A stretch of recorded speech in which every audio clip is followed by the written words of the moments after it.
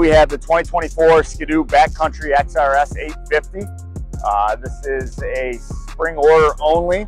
This customer chose to go with the upgraded 10.25 touchscreen display. This is an uncoupled suspension as well with a 1.6 Ice Cobra track on this. LED headlights and DS2 skis, so a little bit wider skis for uh, deeper snow applications. So your touch screen here, navigate through there. You can change uh, your displays here with your GPS. You got, uh, you can connect your phone through Bluetooth.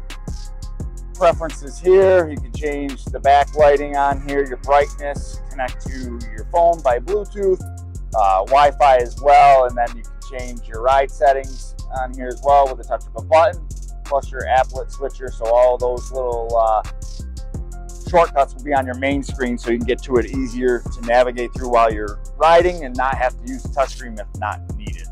So if you uh, have your gloves on, obviously it's winter time, it's gonna be cold out there and you don't wanna use the touchscreen application, you can actually navigate right here through your left-hand uh, switch there.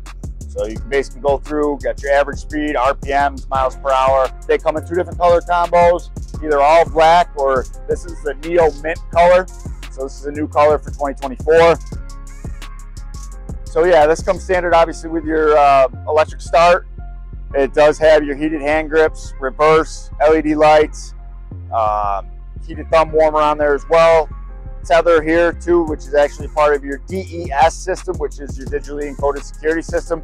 So that acts as a tether. So if you do fall off the vehicle, it will shut the machine down. And this is the 2024 Ski-Doo Backcountry XRS 850.